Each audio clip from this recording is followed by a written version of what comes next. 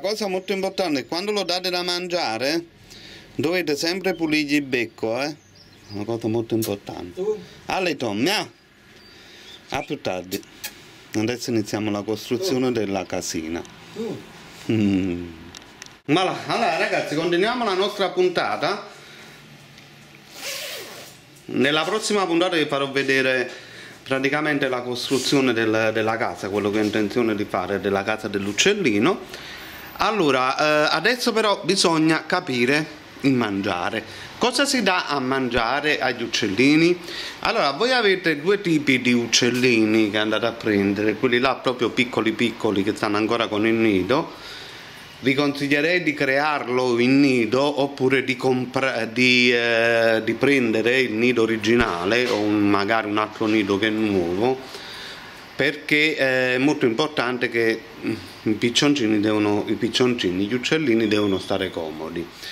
Quel tipo di uccellino deve mangiare ogni 10 minuti un quarto d'ora, quindi se vi prendete la responsabilità dovete sapere che l'uccellino mangia ogni 10 minuti un quarto d'ora. Ma cosa?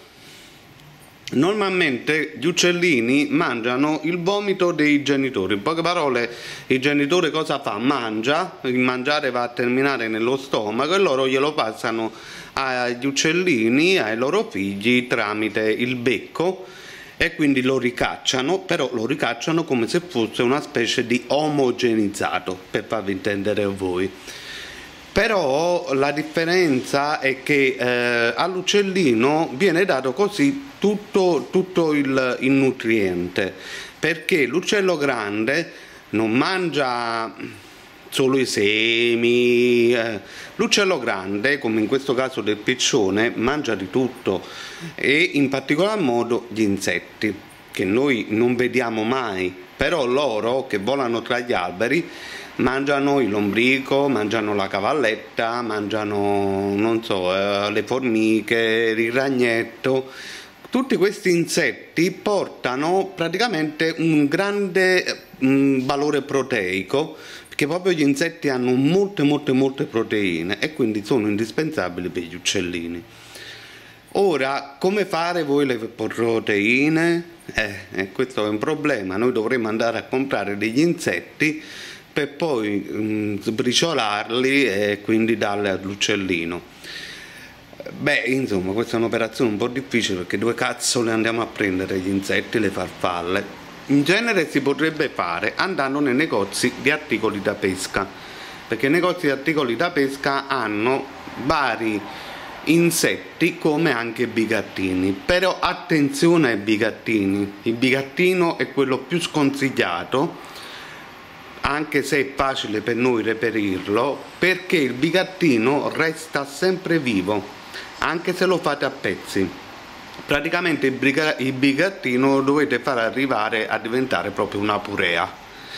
Quindi può essere che alle persone fa un, fa un po' schifo, no? Sta cosa, ecco. E quindi per sostituire ehm, le proteine all'uccellino, come bisogna fare? Adesso andiamo a fare la mia ricettina. Allora, ecco qua la ricettina.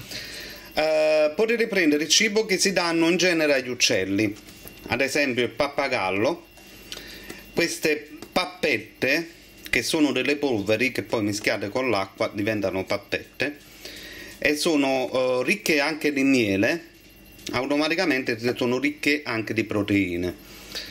Eh, quindi anche di, di vari frumenti eccetera. Poi possiamo dare un po' di eh, completo sminuzzato al massimo quindi il cibo per le colombe e per i piccioni e potete dare anche un po' di ravvivante di colore. Logicamente il colore la colomba non ce l'ha tanto eh, quindi ehm, diciamo si potrebbe anche evitare però contiene sempre molte cose proteiche.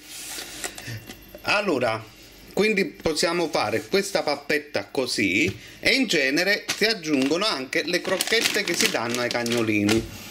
Le crocchette che si danno ai cagnolini sono a base vegetale e carne. Quindi automaticamente un, un, un, un apporto in più calorico che è indispensabile. Quindi possiamo prendere queste crocchette però che sono morbide e si devono logicamente sempre tutto sminuzzare. Quindi questo può sostituire benissimo i vermi. Come si dà a mangiare all'uccellino?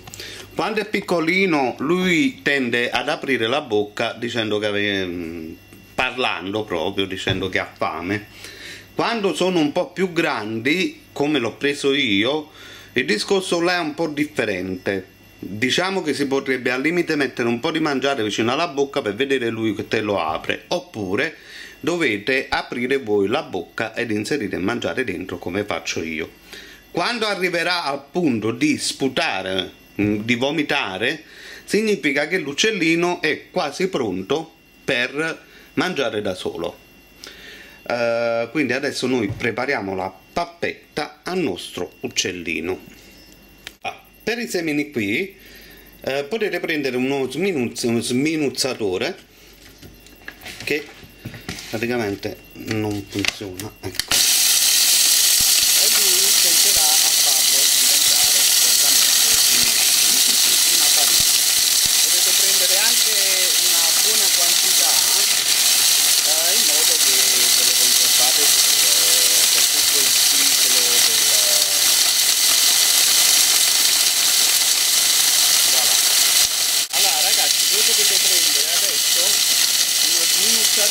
per sminuzzare tutti eh, i semi e i semini che normalmente si danno agli uccelli quando sono grandi ok?